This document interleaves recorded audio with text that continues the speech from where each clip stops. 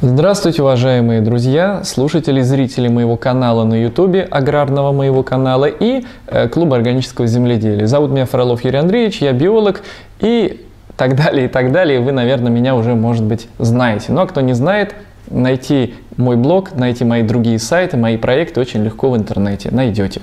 Сегодня мы поговорим с вами об одной очень интересной культуре, достаточно любимой, востребованной, это баклажаны – Агротехника у баклажана примерно схожая с выращиванием томатов.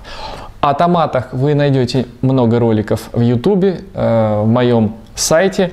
Об этом я подробно говорил. Поэтому касаться темы почвы, как проращивать семена, как пересаживать их, пикировать в горшочки, как это я рассказывал на примере томатов, да, и потом уже э, выращивать большую высокую рассаду, я не буду. Все очень схоже.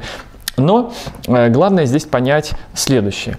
Значит, баклажаны э, достаточно светолюбивая культура, любят температуру э, среднюю высокую, то есть 27-30, 32 можно – но а, помните еще раз, никогда не буду уставать это объяснять, что сверху желательно, особенно если яркое освещение, если лампы натриевые, либо накаливание, либо металлогалогеновые, которые достаточно э, высокую температуру создают э, значит, при своем освещении, то помните, что верхний слой почвы надо накрывать небольшим, толстеньким таким, ну, 2 сантиметра слоем мелко изрубленной, измульчированной соломы, и э, тогда верхние слои почвы не будут пересыхать, а это очень важно. Не переливайте баклажаны, они этого не любят. Но э, когда уже у вас баклажаны поднимутся, будут большие, Э, они будут пить очень много воды, поэтому вы э, всегда следите за тем, чтобы листики не никли. Если начинают никнуть листики, а вы где-то проглядели какой-то горшочек, у вас много рассады,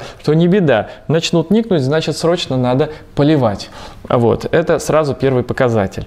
Чтобы баклажаны были устойчивые, с толстым стеблем, крупные, нужно хорошо подсвечивать, но ночью э, снижать температуру э, где-то до, ну скажем так, так 15 градусов, нужно закаливать, а освещение должно быть не менее 12-14 часов. Я рекомендую для тех, кто не э, чувствует, э, ну, что называется, на ощупь, на вот, э, цвет руки, да, так сказать, на который падают лучики света, купить и использовать вот такой прибор, э, значит, это люксметр и он в люксах будет показывать, сколько единиц э, значит, освещения на квадратный метр, а норма, как я уже сказал, 12 тысяч и более. Так, про э, баклажаны маленькие мы рассказали. Здесь представлены значит, маленькие растения, которым примерно 2,5 недели от того, как они были посажены, пикированы из проращивателей маленьких наших мини-тепличек вот такими малюсенькими растениями. Вот они выросли где-то за две с половиной недели растут баклажаны медленнее, чем томаты, ну, на первых порах. Потом идут очень быстро в рост. Вот вам пример живой. Здесь мы видим томаты две с половиной недели от момента высадки их в контейнер малюсеньких росточков четырех трехдневных. А вот здесь мы видим уже через еще две недели, вернее две с половиной недели, а, какие огромные, э, вот им от от роду, что называется, где-то примерно полтора месяца. Но это уже мощные кусты до 35-40 сантиметров высотой с, с листами, которые по длине некоторые я замерял до 12 сантиметров. Вот. Они очень быстро будут выпивать воду, ведь чем крупнее лист имеет большей площадь, тем он э, больше влаги может испаряться, если высокая температура и активное солнечное как говорится, облучение. Поэтому стаканчик, если маленький, э, то почва в нем может пересыхать достаточно быстро. А для этого нужно э, поливать иногда и два раза в день. Ну, мульчирование, конечно, может снизить до одного раза в день потребность. Но поскольку у нас есть маленькие вот такие дырочки, вот здесь это хорошо, наверное, будет видно, в дне, не дне, а бортики как бы на высоте 1 сантиметр от дна. Когда мы получили вот такую высокую, крупную, мощную рассаду, вот как вы видите э, перед вашими мониторами, то, э, значит, знайте, что большая площадь листа и значит высокое активное испарение, особенно если яркая лампа. Значит, соответственно, нам нужно поливать иногда два раза в день. Конечно, можно иногда и снизить до одного раза в день. Мы тогда применяем вот этот толстый слой, сантиметра по три мульчи из соломы сверху. Но тем не менее, главное другое – вот вы хорошо видите, наверное, как у нас корневая система пронизывает весь горшочек. Он у нас прозрачный, поэтому это хорошо видно. Я всегда использую медовые, вот такие по 400 мл горшочки. Около дна, на высоте сантиметр от дна, мы просверливаем дырочки 3 или 4 миллиметровым сверлом. Их две, либо три.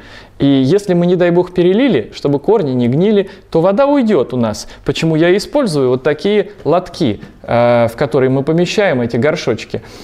Удобные, по 12-13 горшочков помещается в такой лоток. И вода не проливается, вы ничего не зальете. Это удобство. В работе с э, аграрными культурами, да и вообще в любой работе, и вообще в жизни, в быту всегда важны удобство, порядок, когда все на своем месте, все под рукой и все контролируемо. Так вот, Значит, не переувлажняйте. Ну ничего страшного, ведь через эти дырочки вода уйдет в лоток, если вы слишком много польете.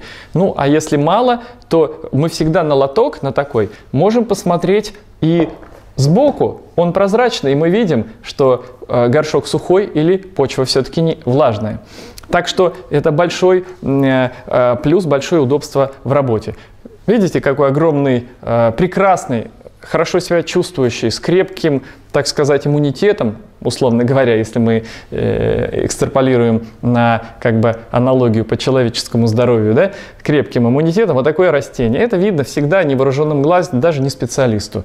Вот его уже можно сажать э, в грунт, причем если бы сейчас было 15-20 мая, то уже в открытый, а в теплицу значит, ну, где-то с примерно 5, э, с 1 мая, значит, это все зависит от того, какая теплица, регион, какой у нас сейчас, какая погода непосредственно, да, и если мы говорим о зимнем саде, зимний сад, то тогда, конечно, в зимнем саду могут быть, э, все зависит от ваших условий, если там он отапливается, э, если Э, хорошая защита, ночью температуры не понижаются ниже плюс ну, 8-10, а лучше плюс 12, то тогда мы можем тоже высаживать и в грунт в зимний сад. Об этом мы тоже снимем обязательно ролики. Так, что еще нужно, хотелось бы сказать мне о баклажанах. Значит, их можно выращивать вместе с томатами в одной теплице, в одном зимнем саду. Э, значит, за счет того, что листья крупные, то мы можем на задний план по ходу движения, скажем, солнечных падений, солнечных лучей, мы можем дальше томатов. То есть от начала теплицы, где солнечные лучи падают, посадить их чуть-чуть дальше. Но если при этом томаты низкорослые. Если же высокорослые и крупные, э, значит, с густой листвой, то тогда э, нужно высаживать грядки параллельно, э, чтобы световой день во-первых, свет был активный весь световой день, и световой день, конечно, желателен не менее 10 часов в день. А вот. Это надо тоже помнить когда высаживаем. Поэтому если в зимний сад мы высаживаем рано, например, скажем, в начале апреля или в конце марта, если он у вас прогреваемый, то тогда надо досвечивать обязательно, чтобы общая продолжительность освещения, это касается и томатов, это касается и перцев, и баклажанов. Общий световой день должен быть не менее 12 часов. Хорошего освещения, который, э, значит, примерно составляет 12 тысяч люкс или более. Вот. Ну что ж, э, по баклажанам на этом мы закончим. Э, смотрите мои другие ролики, если вам э, понравилась тема, понравился ролик, интересное следующее выступление, напишите, кликните «Понравилось ли» и подписывайтесь на мой канал в YouTube. До новых встреч, всего вам самого лучшего.